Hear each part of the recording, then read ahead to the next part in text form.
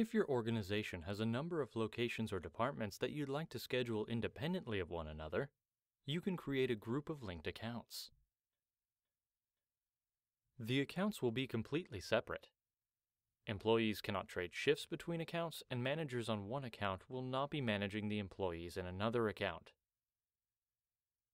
The accounts are only linked for billing purposes, which means that their employee totals will be combined and they'll be billed together. After you've created your first account, log in and go to Settings Create New Linked Account. Here you can enter the name of the new account's main manager. This person will have authority over that account.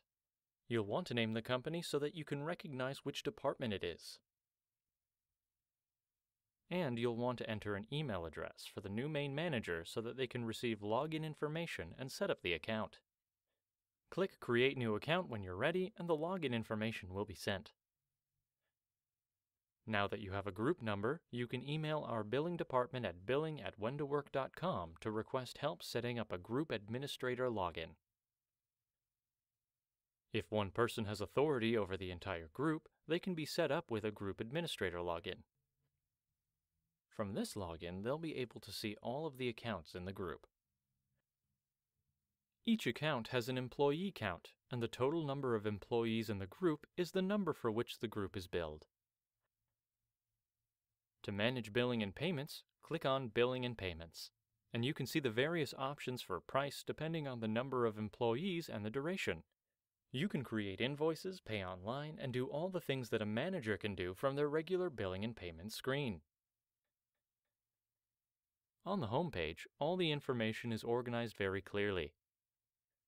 You'll see the account numbers and the various managers. If the group administrator is the same person as the main manager on an account, they'll have a link to log in as manager.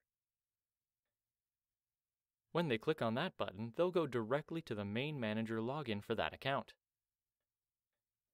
So a group administrator who is also the main manager on all of the accounts can actually log directly into all the accounts through the group administrator login. If the group administrator is not the same person as the main manager on the account, Instead of Login as Manager, the button will read View Only. If the group administrator uses this button, they will be able to see the main manager login, reading all the messages, seeing any unpublished schedules and notes, but they will not be able to save any changes. Only when they log in as manager do they have an active manager login from the group administrator login. The group administrator can create new linked accounts at any time and can also unlink an account. If you click on the account name, you can choose to unlink the account, which will remove the account permanently from the group. The group administrator also has a section called Reports. In this section, you'll find the same custom reports we offer in the regular account report menu.